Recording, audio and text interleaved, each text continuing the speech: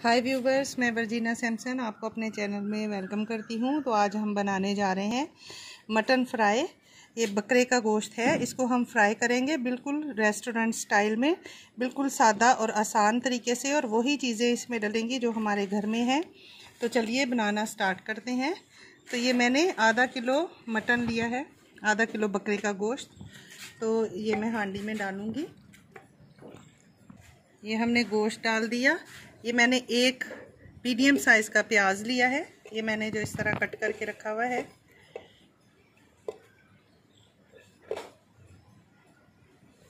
ये तीन अदद मैंने मीडियम साइज़ के टमाटर लिए हैं। दो हिस्सों में मैंने काट लिया है। तो ये हम इस तरह ऊपर रख देंगे। और ये दो चम्मच भर के बड़े वाले अदरक लहसन को मैंने ग्रेट किया हुआ है। ये हम इसमें डाल देंगे। तो इसमें एक चम्मच हम नमक डाल देंगे। ये वन टीस्पून। नमक है। आधा चम्मच हम इसमें हल्दी का डालेंगे। बिल्कुल सादा मसाले हैं, वही हैं जो घर में हमारे डेली इस्तेमाल में आते हैं। एक चम्मच भर के धनिया पाउडर हम डाल देंगे। तकरीबन डेढ़ चम्मच ये घर की कुटी हुई लाल मिर्च है। डेढ़ चम्मच डाल देंगे। दो ये इस तरह मैं साबत वाली लाल मिर्ची बीच में डाल रही हूँ। अभी हम इसमें पानी ऐड करेंगे। इतना पानी कि ये गोश्त इसमें पूरा डूब जाए। ये हमने गैस ऑन कर दी है। अब हम इसको ढक के 10 से 15 मिनट के लिए पकने के लिए रख देंगे हल्की आग पे। पहले तेज़ आग की है, ये एक दफ़ा उबल जाए, फिर इसको कम आग करके हम 15 मिनट के लिए गोश्त को गलने तक के लिए पका लेंगे। तो अभी हम ढक देते हैं। मिलते हैं 15 मिनट के बाद। तो ये देखें ये देखें हमारा, ये बॉयल हो रहा है, मटन। तो अभी मैं ये ऊपर जो इसके छिलके हैं टमाटर के, वो मैं रिमूव कर दूँगी, जैसे कि ये है। ये इस तरह। ये सारे छिलके हम उतार देंगे इनके।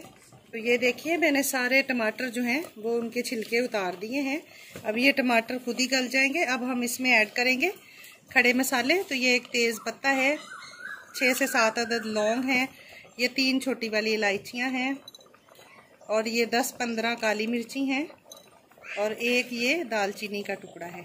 इनकी बहुत अच्छी खुशबू आती है इसमें तो ये मैंने इसमें ऐड कर दी है।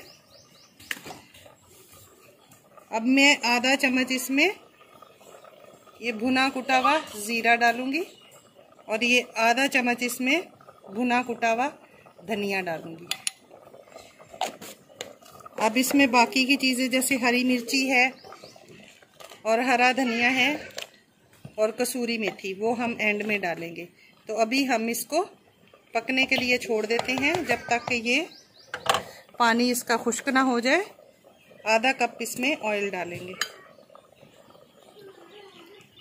तकरीबन आधा कप है ऑयल का। बिल्कुल देसी तरीके से रेस्टोरेंट स्टाइल में और बहुत ही ज़बरदस्त बनने वाली है। अब इसको ढक के हम इसको पकने के लिए रख देंगे तो ये देखिए व्यूवर्स ये देखिए। हमारा कितना ज़बरदस्त गोश्त जो है वो भुन के तैयार हो गया है। अब हम इसमें एक चम्मच कसूरी मेथी ऐड करेंगे। और ये पाँच हमने हरी मिर्ची ली है, इनको मैं कट करके डालूँगी।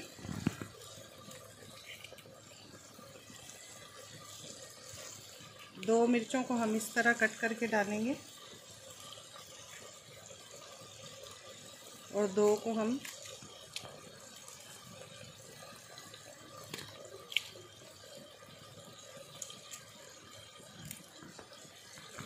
ऐसे डालेंगे।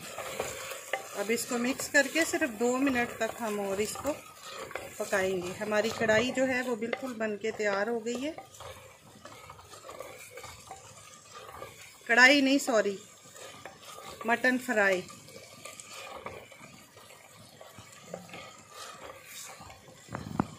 तो ये देखिए, हमारा मटन फ्राई बन के बिल्कुल रेडी हो गया है। अब हम इसको डिश में निकालेंगे। इसको टोटल 30 मिनट लगे हैं। पाँच मिनट हमने ऐसे फ्राई किया है 25 मिनट हमने हल्की आग पे इसको ढक के पकाया है। तो अब हम इसको डिश आउट करेंगे। अभी गैस को बंद कर देते हैं और निकाल के फिर आपसे मिलते हैं।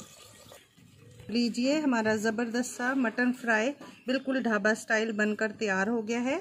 तो अभी ये हम इसके ऊपर थोड़ा सा धनिया गार्निश करेंगे। ये देखिए, कितना ज़बरदस्त लग रहा है। ये देखिए, बोटियाँ देखिए कितनी ज़बरदस्त हैं। और बिल्कुल गल गया है और इसको टोटल पकाने में हमें 30 मिनट लगे हमने 25 मिनट इसको ढक के हल्की आग पे पकाया है। तो व्यूवर्स अगर आपको मेरी ये रेसिपी अच्छी लगी हो तो आप इसको लाइक शेयर और सब्सक्राइब करें। दुआओं में याद रखें। मिलते हैं अगली वीडियो में एक नई रेसिपी के साथ। खुदा हाफिज़। Thanks for watching